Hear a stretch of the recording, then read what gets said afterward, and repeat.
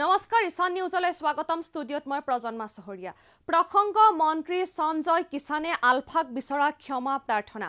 এইবাৰ উভতি ধৰিছে মুখ্যমন্ত্ৰী ডক্টৰ হিমন্ত বিশ্ব শৰ্মাই আৰু মুখ্যমন্ত্ৰীগৰাকীয়ে প্ৰকাশ কৰিছে প্ৰতিক্ৰিয়া। মন্ত্ৰী সঞ্জয় কিষাণে সাংঘাতিক ভুল কৰিছে বুলি প্ৰকাশ কৰিছে মুখ্যমন্ত্ৰী ডক্টৰ হিমন্ত বিশ্ব শৰ্মাই আৰু ঈশান নিউজৰ দৰ্শকসকলক এই সন্দৰ্ভত জনাই আছো সবিশেষ খবৰ। আলফাৰ ওচৰত ক্ষমা খুজি মন্ত্ৰী সঞ্জয় কিষাণে সাংঘাতিক ভুল কৰিছে। ৰাষ্ট্ৰীয়তাবাদী দলত এইদৰে কাম কৰাৰ কোনো সুযোগ নাই। মন্ত্ৰী সঞ্জয় কিষাণক এই সতৰ্কবাণী মুখ্যমন্ত্ৰী ডক্টৰ হিমন্ত বিশ্ব শৰ্মাৰ। তাৎপৰ্যপূৰ্ণভাৱে ভৱিষ্যতে এনে দিনে ভৱিষ্যতে কোনোদিনে এনে পন্থা নল'বলৈ সতৰ্কবাণী মুখ্যমন্ত্ৰীগৰাকীৰ। আৰু ভৱিষ্যতে সন্ত্ৰাসবাদৰ বিৰুদ্ধে পন্থা ল'বলৈ পৰামৰ্শ মন্ত্ৰী সঞ্জয় কিষাণক। আৰু সম্প্ৰতি সকলোৰে দৃষ্টি আকৰ্ষণ কৰিছে মন্ত্ৰী সঞ্জয় কিষাণৰ আলফাই আলফালৈ ক্ষমা প্ৰাৰ্থনা বিচাৰ বিচৰা কাৰ্যই আৰু এইবাৰ ৰাষ্ট্ৰ মুখ্যমন্ত্ৰী ডক্টৰ হিমন্ত বিশ্ব শৰ্মাই প্ৰকাশ কৰিছে প্ৰতিক্ৰিয়া। আলফাৰ ওচৰত ক্ষমা খুজি মন্ত্ৰী সঞ্জয় কিষাণে সাংঘাতিক ভুল কৰিছে। ৰাষ্ট্ৰীয়তাবাদী দলত এইদৰে কাম কৰাৰ কোনো সুযোগ নাই। আৰু মন্ত্ৰী সঞ্জয় কিষাণক সতৰ্কবাণী মুখ্যমন্ত্ৰী ডক্টৰ হিমন্ত বিশ্ব শৰ্মাৰ। ভৱিষ্যতে কোনোদিনে এনে পন্থা নল'বলৈ পৰামৰ্শ মুখ্যমন্ত্ৰীগৰাকীৰ।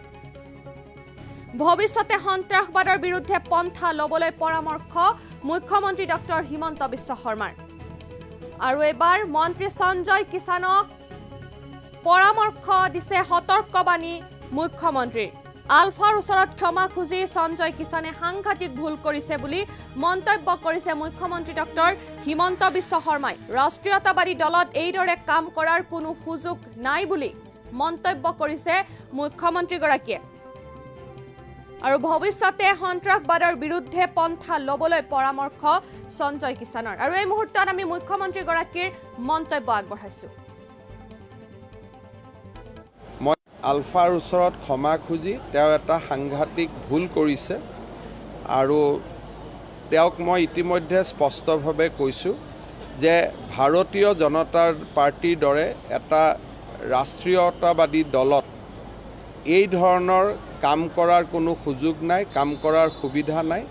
মই তেওঁক সতৰ্ক কৰি দিছোঁ। ভৱিষ্যতে যাতে তেওঁ কোনো দিনে এই পন্থা নলয় আৰু ভাৰতৰ ৰাষ্ট্ৰীয় একতাৰ বাবে আৰু সন্ত্ৰাসবাদৰ বিৰুদ্ধে তেখেতক মই যুঁজ কৰি যাবলৈ পৰামৰ্শ দিছোঁ। আলফাৰ ওচৰত ক্ষমা খুজি তেওঁ এটা সাংঘাতিক ভুল কৰিছে আৰু তেওঁক মই ইতিমধ্যে স্পষ্টভাৱে কৈছোঁ।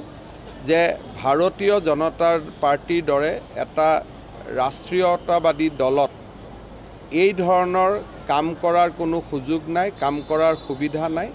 মই তেওঁক সতৰ্ক কৰি দিছোঁ। ভৱিষ্যতে যাতে তেওঁ কোনো দিনে এই পন্থা নলয় আৰু ভাৰতৰ ৰাষ্ট্ৰীয় একতাৰ বাবে আৰু সন্ত্ৰাসবাদৰ বিৰুদ্ধে তেখেতক মই যুঁজ কৰি যাবলৈ পৰামৰ্শ দিছোঁ। আৰু এইদৰেই মুখ্যমন্ত্ৰী ডক্টৰ হিমন্ত বিশ্ব শৰ্মাই মন্ত্ৰী সঞ্জয় কিষাণক আগবঢ়াইছে পৰামৰ্শ। আলফাৰ ওচৰত ক্ষমা খুজি সঞ্জয় কিষাণে সাংঘাতিক ভুল কৰিছে। ৰাষ্ট্ৰীয়তাবাদী দলত এইদৰে কাম কৰাৰ কোনো সুযোগ নাই। মন্ত্ৰী সঞ্জয় কিষাণক সতৰ্কবাণী মুখ্যমন্ত্ৰী ডক্টৰ হিমন্ত বিশ্ব শৰ্মাৰ। ভৱিষ্যতে কোনোদিনে এনে পন্থা নল'বলৈ সতৰ্কবাণী। ভৱিষ্যতে সন্ত্ৰাসবাদৰ বিৰুদ্ধে পন্থা ল'বলৈ পৰামৰ্শ সঞ্জয় কিষাণক।